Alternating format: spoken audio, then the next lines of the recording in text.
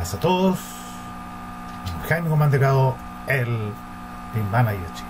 En esta oportunidad para todos ustedes, en esta parte 1, cómo ganar una licitación pública aplicando BIM para todos ustedes. Desde ya, como siempre, le agradezco su asistencia, su suscripción y nos veremos a continuación. No sin antes agradecerle a que se sigan sumando a las gran comunidades y redes sociales BIM apropiadas y ya casi completándolo, llegando a los 9000 suscriptores y seguidores en comunidades de Facebook y otras, ya que completamos 6000 también en grupos de Revit Latinoamérica también, que quiero agradecerles como siempre su suscripción también, dándole tips, acomodándoles cada vez que puedo a través de los trabajos también y desarrollo a la empresa. Desde ya, como siempre, y a continuación nos veremos. En esta ocasión vamos a ver cómo vamos a redirigir todo el tema de sistemas públicos y poder ganarlo apropiadamente con una red normal.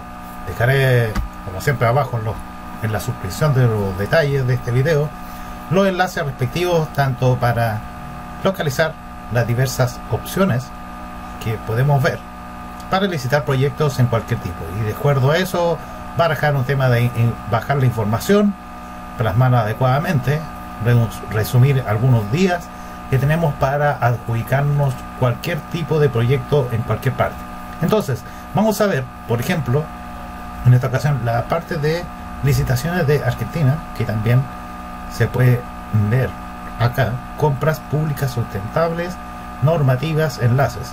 También podemos ver el apartado de Colombia, también con el SECOP. Y de acuerdo a eso, eh, ver los tipos de propuestas o proyectos que se encuentran. Entonces después, de acuerdo a ello, poder bajar, por ejemplo, los planos. Vamos a tratar en esta ocasión de ser lo más sencillo y simple porque las cosas son simples y sencillas para bajar y controlar el presupuesto, para bajar el tema de planificación, para bajar el tema de si es que es rentable o no el tipo de proyecto y calcular los y controlar en base a una metodología BIM como corresponde en base a los contratos. Los contratos están de más, queremos ver si el proyecto es sustentable, que no queda a medias y que si es rentable para su cliente y el tema de estado de propuesta. Entonces, y en Chile también podemos ver el tema de mercado público, también donde podemos ver distintas licitaciones. Compranet también en México, que también todas las hemos analizado adecuadamente para adjudicarse cualquier tipo de proyecto. Todas, todos estos sistemas en Perú, también el CAC GOV y el SICOES también para el tema de Bolivia y otras más que por temas de enlaces de video que es, por ejemplo aquí son las contrataciones públicas tanto Argentina, Bolivia, los sistemas de licitaciones públicas. Y de acuerdo a eso bajar la información ajustarse al tiempo y utilizar una metodología de trabajo en este caso vamos a hacer un ejemplo súper sencillo y lo más simple posible que se entienda esto no lo van a encontrar en ningún y para los alumnos de universidades colegios, maestros, empresarios medianos, chicos, eh, grandes, tengan la visión de metodología de trabajo BIM como corresponde y poder adjudicarse ese proyecto y a través de este video también agradecerles como siempre. Como ya hemos visto, tenemos varios detalles, tenemos una licitación pública aproximada, podemos ver, por ejemplo, y podemos ir viendo licitaciones públicas también y de acuerdo a las localidades, también como lo estoy comentando acá y ver las licitaciones que se encuentran apropiadamente.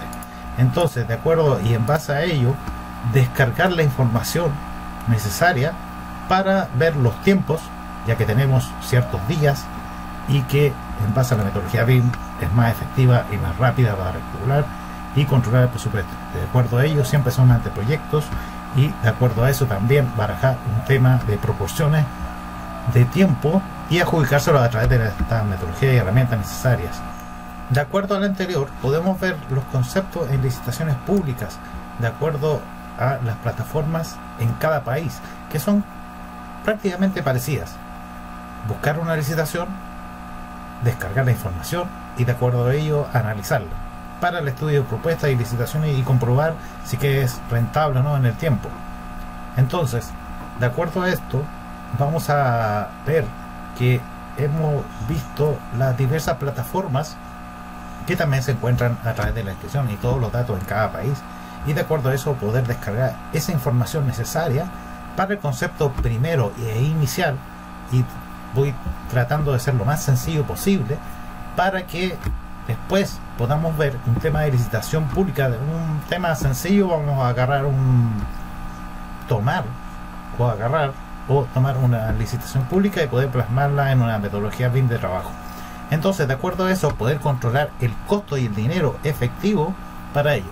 De todas formas, como siempre, debemos tener claro ciertos conceptos normales para controlar y usted cliente también controla a sus encargados también de proyectos y puedan y su estudio de propuesta también sea más efectivo.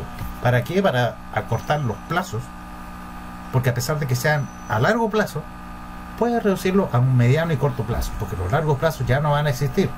Entonces, objetivos, transmitir los principios de la metodología BIM como corresponde. No es necesario mucho también, o sí, es necesario también conocer los software. Pero el especialista tiene que ser especialista en un, en un tipo de propuestas y ser habilidoso y también evaluarlo. Puede tener 10 ingenieros, pero de los 10, 2 le puede ser efectivo. Entonces, de acuerdo a esto, transmitir los principios de la metodología con un protocolo que ustedes establecer o a través de las licitaciones de análisis que le estoy mencionando. Saber aplicarla y poder transmitirla a terceros. Sepa qué pedir de BIM y qué no pedir de BIM. No exigir más de lo que necesita y también transmitirla a través de esto. Que sean operadores o directores. Dotar al profesional del potencial para emplear con criterio y coherencia un amplio abanico de instrumentos específicos para el modelado y análisis de modelos BIM. Con esto también hay una revisión, hay una auditoría, todo. Hay eh, todo en base al tiempo que tenemos para desarrollar esta licitación y en base al tiempo poder adjudicarla. Dotar, crear profesionales BIM managers, coordinators, BIM modelers que sean capaces de implementar y gestionar procesos de innovación con entorno y herramientas de última generación por esto es el desarrollo colaborativo. Nadie está hace las cosas por sí solo. Debemos trabajar en conjunto y hacer con esto analizar el trabajo. Fomentar una actitud proactiva y crítica hacia el BIM que les permita adaptar a la evolución y cambios del sector, tanto en municipalidades, policías, servicios de salud, etcétera. Todos esos servicios necesitan una mantención, necesitan un un seguimiento de los costos y los presupuestos y quiénes son los encargados de esos costos y presupuestos para optimizarlos. Cada peso, cada centavo, cada impuesto debe ser controlado y está controlado a través del modelo BIM y es realmente y es real. Puede ser controlado a través de en esta primera parte que es de introducción para todos ustedes. los dineros que se destinan a ese encargado no se va a llevar ningún peso de más, ni mucho menos. Está todo planificado de acuerdo a, los, la gerencia y los, los costos y los inversores de acuerdo a ese proyecto. Si usted tiene un estándar o se incluyó un estándar, usted crece un propio estándar en base a ello. No es necesario, porque si usted es dueño del terreno, si usted es tiene el más del porcentaje de esa inversión, usted decide que no le vengan con cuentos. Entonces, por ello, es un estándar de acuerdo a ello. Cuarto, mejorar la competitividad de los profesionales del sector de la construcción. Para ello tienen que instruir y capacitar y ser más cercanos a sus trabajadores. Los trabajadores son su fuente de trabajo y potencial y fuerza de trabajo para usted. Así que si los trata bien, también va a tener un servicio de calidad y responsable. Sé que, estamos ajustados en tiempo, pero en base a una metodología de trabajo como corresponde y a través de este video les doy las gracias y continuamos. Promover la creación de nuevos modelos de negocio fomentando el carácter emprendedor de los futuros profesionales del BIM. El fin ya es efectivo, ya fue resuelto y en base a sus protocolos y estándares y una implementación adecuada, en base a ello vamos a poder crear más líneas de negocio. Dentro de las etapas constructivas todos conocemos que hay una etapa de construcción, anteproyecto, diseño, generación, ejecución de obra, materialidad y mantenimiento. En base a ello, y de acuerdo a lo anterior, en esta aplicando cómo ganar una licitación pública aplicando BIM parte 1, deseo súper claro y ser lo más sencillo posible para todos ustedes y para que puedan conseguir una licitación pública que corresponde y que sus dineros no se desperdicien, el material sea instalado como corresponde, en las fechas apropiadas, que no quede tirado el proyecto a medio camino por falta de que alguna persona no fue bien evaluada a través de él.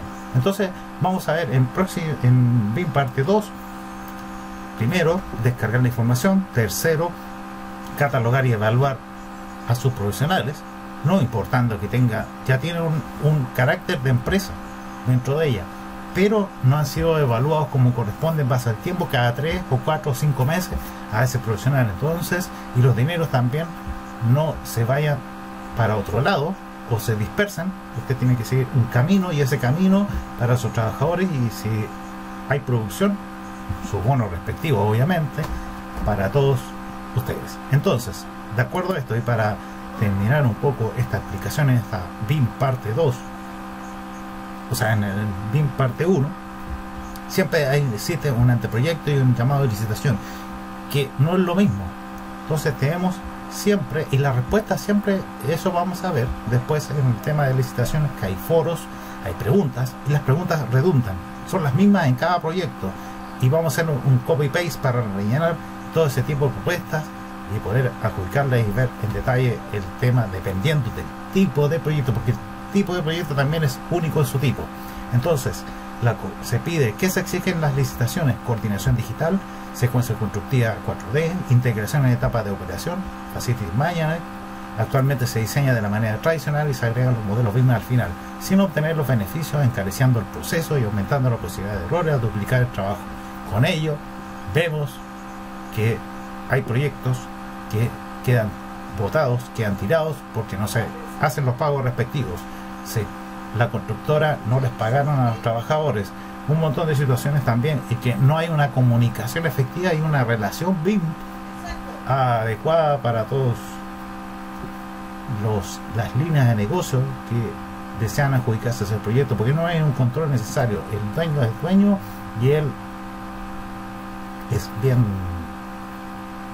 severo ciertas cosas, como no le sirvió el primer equipo, lo elimina y después trae otro y también sigue y vuelve en el mismo círculo vicioso y no desarrolla con un protocolo y desarrollo efectivo y las ganancias se disparan y contratamos más servicios y aumenta el valor y el presupuesto inicial que hubo en esa licitación aumenta proporcionalmente y no hay un control necesario en el presupuesto no hay coordinación de especialidades, o sea, los mismos profesionales rebotan, que son los mismos malos profesionales, rebotan en cada, en cada licitación pública y no son evaluados y esas malas prácticas las traen de una y otra parte a través de esto. Y con este video vamos a solucionar todos los graves problemas que salen para ganar una adjudicación BIM como corresponde, licitación pública, aplicando BIM, evaluando profesionales, roles, etcétera, con un software adecuado. Los especialistas se encargan de su especialidad, el arquitecto se encarga de su arquitectura, el ingeniero se encarga de su, de su estructura, de su sanitario, de su especialidad de clima, y así vamos desarrollando un tema aplicado. No se trata de aplicar cierto software, sino que se trata de llevar un control necesario que lleve su presupuesto cliente, inversionista, apropiadamente. Acá me comandado el BIM Manager Chile este cómo ganar una licitación pública aplicando BIM parte 1 para todos ustedes. Desde ya, como siempre, les doy las gracias y nos veremos en la parte 2 próximamente. Muchas, pero muchas gracias.